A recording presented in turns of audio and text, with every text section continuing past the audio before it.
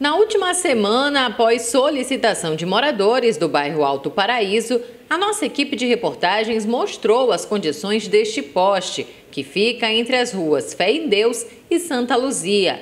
A estrutura do poste estava se deteriorando, as ferragens podiam ser vistas e a situação estava gerando medo nos moradores do local, que temiam a queda da estrutura a qualquer momento.